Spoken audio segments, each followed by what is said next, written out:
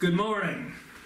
My name is Don Sharp, and today is August the 23rd. And uh, we have three news stories on a history of New Orleans and the North Shore of uh, Louisiana, north of Pontchartrain. on the table here, I have four ring notebooks and a, and a, uh, a regular library book. And uh, first of all, I'll tell you about the three stories are one is about the two boy, two men named Gilbert. One's called Gilbert Antoine de Maxent. He's the uncle. He's there in the small book. His nephew is Gilberto Guillemard, the surveyor, uh, who is important to the history of Louisiana, uh, especially New Orleans, because he's the one that designed and built the three main buildings in Jackson Square or the Plaza. One of the most famous, of course, is the cathedral. It's the oldest extended running cathedral in the United States. And there's a lot of history. They want to uh, maintain it, keep up it, keep up the uh, maintenance, they keep the going. The book here that, that I have and the picture on both books is a drawing. This book was written by a man named Julian Coleman. He wrote the book in 1968. It's a brief book about Gilbert Antonio St. Maxim, early New Orleans in the French period. But the interesting thing about Gilbert St. Antonio de Maxent and his nephew, Gilberto Guillemard, is a little town in France where they came from. This is in this uh, volume here. I have the picture that's called Longy. L O N G Y. The French spell it several ways. L O N G W Y. You look on a map of France and see Paris. A little to the northeast of Paris, on the German and Belgian border, is the town of Longy. And I have a beautiful pictures of it was built as a fortress. It was a little country town, and a man by the name of Vauban, V A N N A uh, N A N. The French spelled it Vauban. Sebastian, Sebastian Vauban. He was the greatest military engineer in the history of Europe. And he built over 300 fortresses and palisades and stuff throughout Europe he took this little town, this little village, scraped it to the ground, and he built a fortress. These two men who made the history in New Orleans were born there and raised there. They had influence in their background, military influence. This is one of the reasons why Gilberto Guillemard was called on by the Spanish to build so many fortresses. And later in life, when Carondelet was governor of Spanish Louisiana, he was worried about invasion from France. He had him build Fort St. Philip down by New Orleans. Where did they get this knowledge to build it? From Longy. So if you want to know about where they came from and, and the influence of a little French town on New Orleans. So the first story is about these two men and the early history of New Orleans. What is interesting about it and what is important? Historians dropped the ball. When it came time, when Gil, Gilberto Guillemard, the, uh, the surveyor and builder, left New Orleans in 1805, they said, Where did he go? Well, they didn't know. They couldn't find any records. There was no computer in those days, in the 1920s, 30s, 40s. So the historian said, Oh, he went back to France and died there. No, he didn't. He did not. this will tell you Gilberto Guillemard had a family, a little family. He had a wife. Her last name was Bisador, B O I S D O R N. Her father was a surgeon in New Orleans and a military man. Hmm. Uh, but, um, and they had a son. The son was called uh, uh, Ronaldo.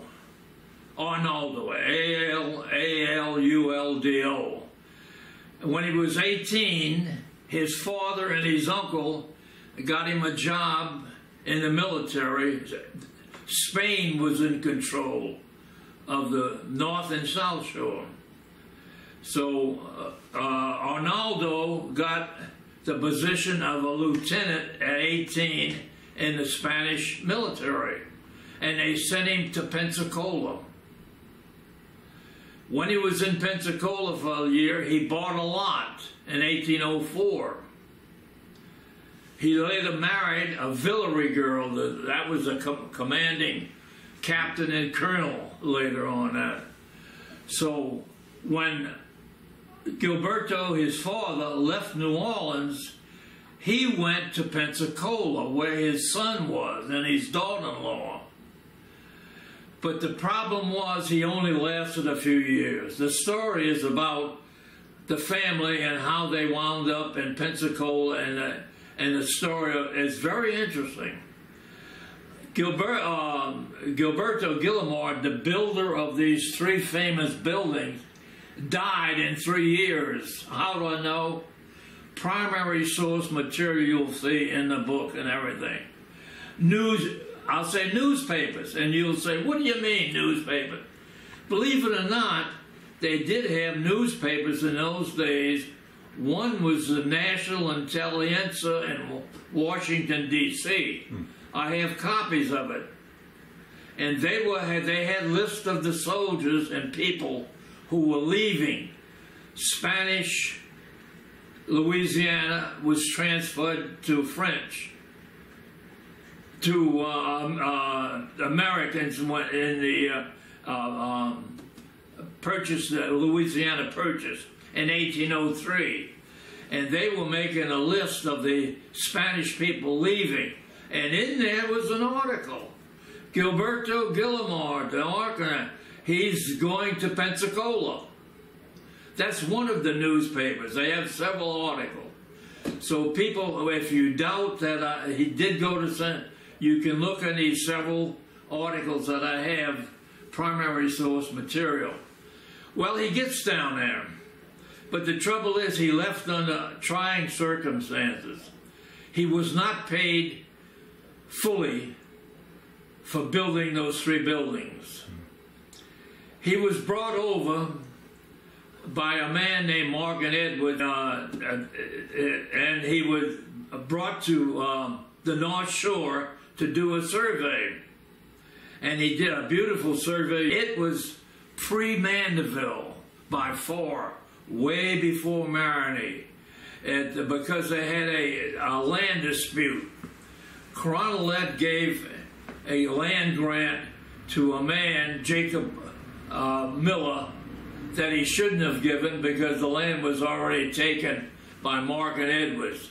So that's part of the story for 12 years of, of uh, Gilberto did that and he wasn't paid for it he wasn't paid fully because right after he finished that survey, uh, and Edwards died, but uh, Andres Almonester, who was contracted by the Cabildo to build these buildings, he financed them. Gilberto Guillemard wasn't pay, paid uh, for his uh, building of the buildings.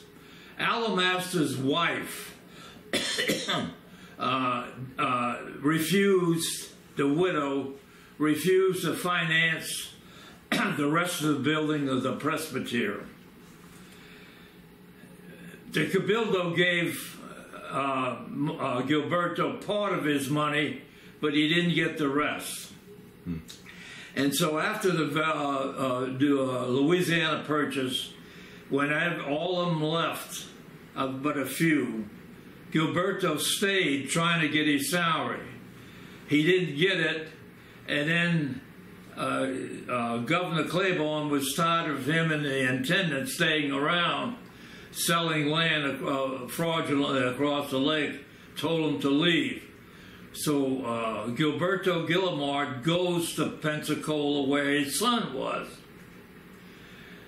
And he, he's over there, but he's penniless. One of the letters of the Spanish governor writes to another one saying that Gilberto Guillemard uh, has no financial means now.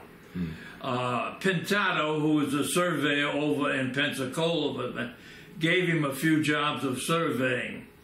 But anyway, he married in 1787 to Felicia Bizador, uh, the daughter of the surgeon. Uh, and uh, uh, her brother Lewis in New Orleans suggested that uh, the father, the surgeon uh, who had a, a, land grant, got a, a, land grant, a huge land grant, and um, on the Gulf Coast, would they could take that and sell it and make some money that way if uh, Gilberto would write a letter to the intendant Morales to get a survey done. He wrote the letter in April, but he died. The notice came out in New Orleans that he died November the 27th uh, in Pensacola, and he was buried the 28th. They had a new cemetery that, cemetery that opened up, St. Michael's, just the, the, the year before, and it's possible, most likely, that he's buried in that cemetery. Hmm. But anyway, Gilberto, nobody knew about this. This is not in the in the, uh, the history of the builder of uh, the three buildings. So this story here in volume 29 is about his last days in Pensacola and the story of his son, Arnaldo, who was a um, officer in the Spanish. Uh, Spain retained the North Shore even after the Louisiana Purchase. And um, uh, so he went over there. He wrote the letter to Intendant Morales to get a survey done for his father-in-law who died. The the uh, the the grant that he got from Miro, the Spanish governor, in 1783, uh, was from Bay St. Louis to the Pearl River some statements say 100,000 acres, some say 400,000 acres, but it never was surveyed. So this letter he was writing for his mother-in-law was to get a survey done so they could sell the land or something. It went to the courts, the Supreme Court for several, for many years. The final analysis was since they didn't know no boundary, and they had no uh, definite uh, divisions of where that uh, grant was. They couldn't give it. They did uh, honor him, the family, and they gave him 1,200, uh, 12,000 acres. But anyway, what happened in November is that Gilbert Gilmore died after three years. Nobody knew about that. And he's buried in St. Michael Cemetery. He left his wife a widow. That's why the street was named and his son, Arnaldo. Anyway, what happened was General Andrew Jackson, in the history, made several trips there to clear the Spanish out and to get the land for the United States. His son and his father-in-law with ten other Spanish officers wrote a letter to the newspapers stating that Andrew Jackson didn't treat his fairly about uh, these officers fairly in, in the uh, in the survey. Andrew Jackson was so upset that he banished them. He wrote. A, he was a, a, temporary governor of Spanish West uh, on Pensacola there for about uh, 12 weeks, three uh, three or four months. He banished them from the uh, colony. they the, the uh, uh, yellow fever started to rage. And it's all in this book here. They were they left these officers for Cuba, uh, Havana, Cuba. But while they were leaving and on their way to Cuba, Gilberto Gilliboy's wife Bizador dies of yellow fever.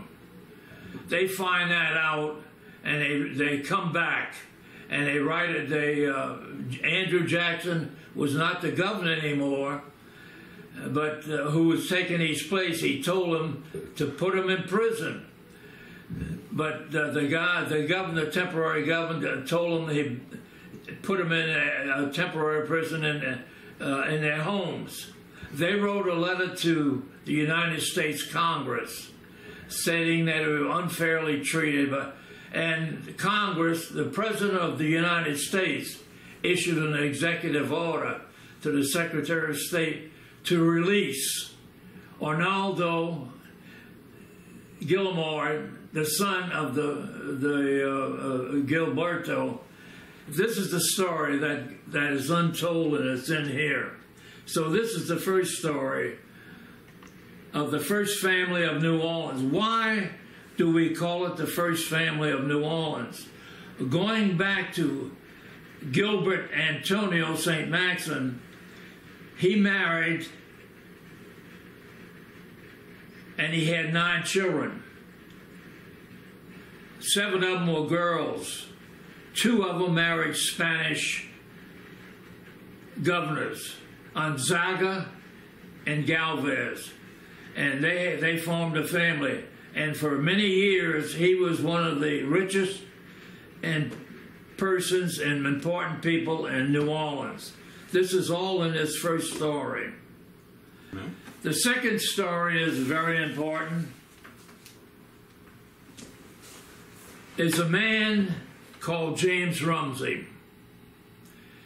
And his influence on the North Shore history is that he started experimenting with steamboats 11 years before they even have it in the history books. And he was on Bayou Lacombe. And uh, the story of how he uh, was born in England, the historians really distorted this story. They couldn't find out the history of him, so uh, uh they bought a false story made up by his nephew that he was born in Maryland. But he wasn't born in Maryland, he was born in Bristol, England. But anyway, and he went to Illinois as a merchant for nine years. Then he came down to New Orleans. He was interested in steam, and he started experimenting with steam. Hmm. So this is about where was he, where did he start these experiments? He, he started on a little branch bayou three miles up from the lake, and it was named Bayou Rouville for a reason, a very good reason. It's part of the large land grant that Governor Vaudreuil under French times gave himself, a 5,000 acre grant, and it's on a Tobin map that shows you exactly where. So we have a very, we want to identify where Rumsey actually started his experiments. It's so important to the United States. It was the beginning of the Industrial Revolution. Mm-hmm. It was only six years after James Watt was experimenting in, uh, at Glasgow, Scotland, and he improved the uh, steam machine to lift water up by adding a condenser. So this is the second story, and it where uh, it tells uh, how Rumsey uh, was he was doing. He started in September of 1774, coming down from Illinois, and he was going very well. Uh, Jacques Hertel Rouville, that's another story, died and left a widow. She allowed him to do his experiments on on the uh, bayou, and uh, but while he was doing the experiments, he wanted ultimate secrecy. And over there, it was still very uh, unpopulated and very. Uh, but here comes Francois Cousin.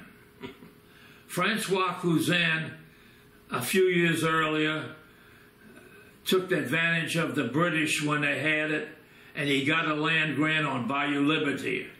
He had a business called making bricks and with timber, and he had some ships. Well, he decided he wanted to expand, and he heard about uh, Bayou Lacombe. If you ever been there, it's a beautiful bayou right directly across. So he applied for a land grant to Peter Chester, the English governor. Chester said, if you bring your slaves and all your equipment there, you can get a land grant. Mm. So he, they gave him a land grant above where Rumsey was doing his experiments on the Vaudreuil plantation. But Rumsey wanted secrecy. Uh, but uh, uh, um, Cousin had six boats, and they would pass right by where Rumsey was doing the experiments. Mm.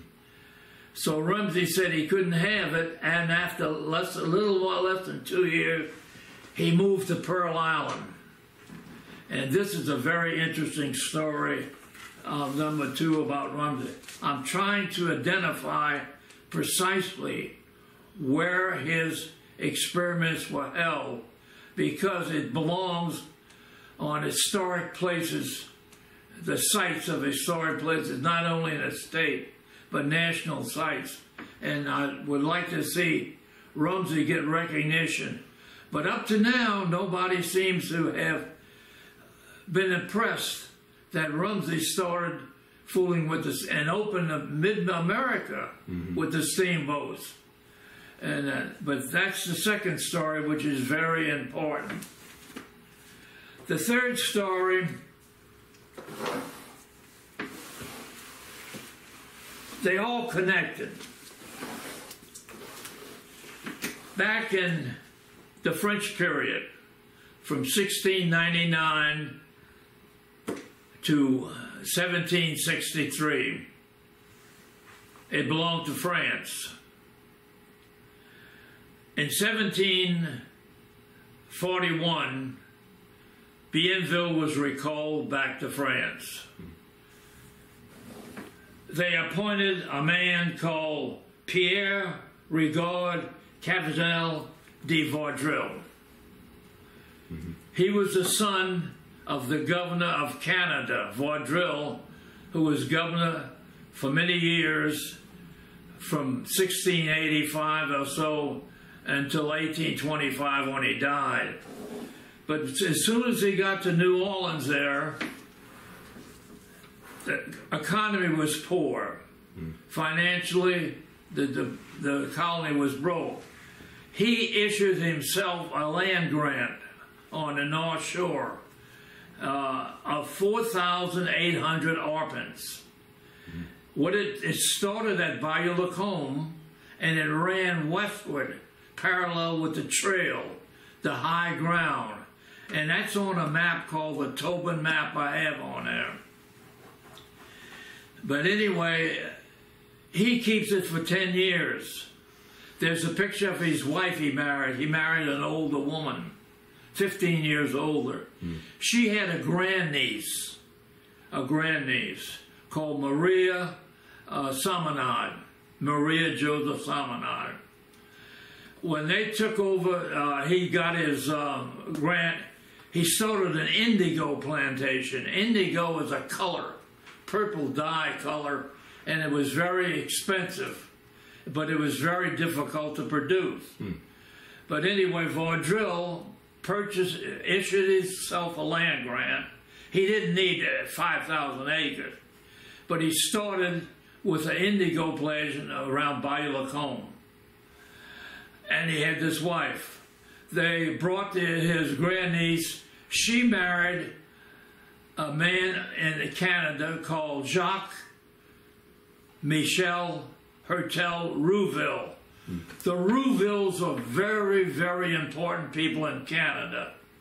They kept Canada from falling to the Iroquois Indians.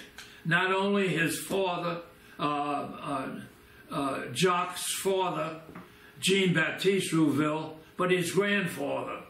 They were so successful in getting friendly Indians to help them fight off the Iroquois that they, they were given seigneurs, a, a lesser noble uh, designation. What it was, they get, were given land, and they were entitled to own land and to rent it out to, to settlers uh, to work it. Uh, but anyway, she marries this Rouville, and Jacques Rouville comes down to live on the plantation after the uh, uh, the uh, Vaudreuils left. They lived there for 20 years. But after a few years, Canada had the Seven Year War. England beats France and Spain and get, get, gets Canada. Canada was all French and Catholic. But they, they draw up a proclamation of 1763. The proclamation was very offensive to Canada. It took away their religion. They couldn't practice Catholic. They took away their civil rights. They took away their right to vote. They took away the right to purchase land or move westward into new lands. This really irritated the 70, 80,000 Canadians. The English only had 2,000 troops there, and they were very upset. So they didn't know what to do.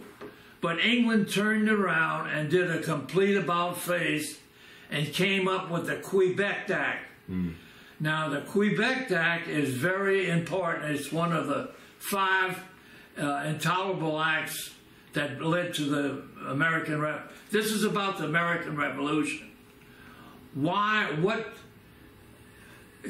uh, actions, events happened on Bayou Lacombe on the North Shore that pertain to the American Revolution? This man, Jacques Rouville, Rouville, who have a bayou named after him, left New Orleans, went up there, and in the, in this book, it tells how he organized the nobles and uh, he uh, to protest. It was so important and, and so effective. England completely reversed their position and made the Quebec Act, which allowed them the their religion, even got them a, a, a bishop, uh, allow them the, the civil rights again, allow them, extended the, the uh, boundaries of Quebec all the way down to the Ohio River. They stopped the 13 colonies from moving west. This so infuriated the 13 colonies and it, it, it, that it started the war. So here you have a man called Jacques Hertel Rouville that was living on Bayou Lacombe that went north and organized and helped change the proclamation of 1763 that was one of the major instruments in starting the American Revolution. In 2026, they're already starting to organize and advertising. There is going to be a celebration of the 250th anniversary of the American Revolution. And they wanted to know what events happened down here. Historians say very little happened. Very little happened in New Orleans or the North Shore that affected. That is not true. I give you Jacques Michel Hertel. He came back after the Quebec Act in 1774 and he died in New Orleans. Mm. Soon after he died, up shows Rumsey coming from Illinois.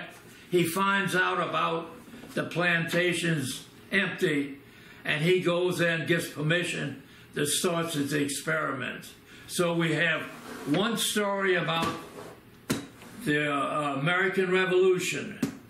We have another story about Rum, uh, Rumsey, and is uh, and it's very important. It changed the way we live, how we travel, how we prepared our food, and then we go to the first story of Gilberto Guillemard building the three buildings in the in the uh, uh, French Quarter that stand today attract nine million people each year.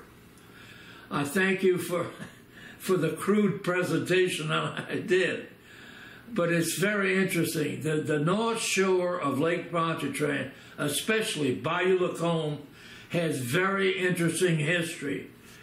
The Gilliards,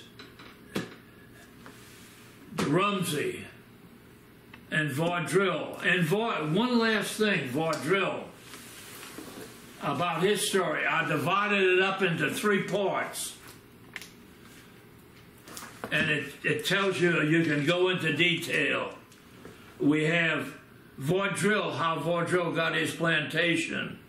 We have Rouville, all about Rouville and what he did during uh, living uh, with, and his, how his wife uh, sold the property to uh, to Rumsey in 1776 after Kuzan tried to uh, got a place. And then we have Rumsey. So, so all three stories on the final thing of Vaudreuil. Mm.